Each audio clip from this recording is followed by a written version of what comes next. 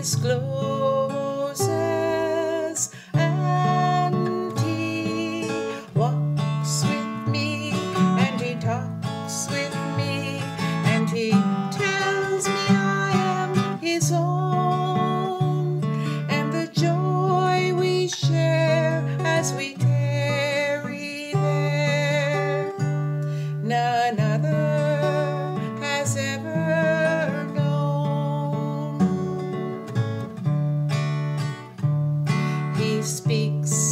the sound of his voice is so sweet.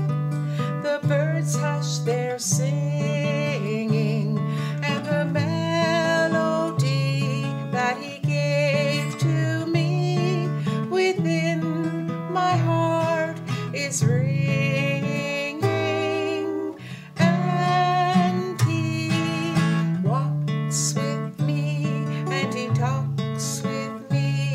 And he tells me I am his own.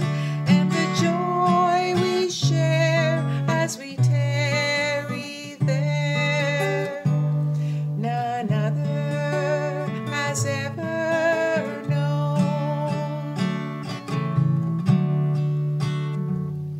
I'd stay in the garden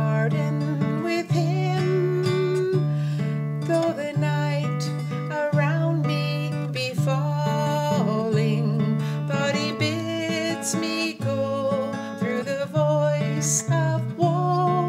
His voice to me is calling, and he walks with me, and he talks